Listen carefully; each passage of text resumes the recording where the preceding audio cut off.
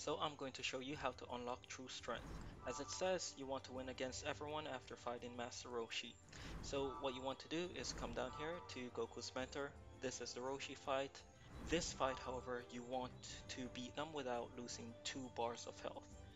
That is how you unlock true strength. If you hit retry, if you lose, you will have to start all over again from the Master Roshi fight. Hope this is helpful.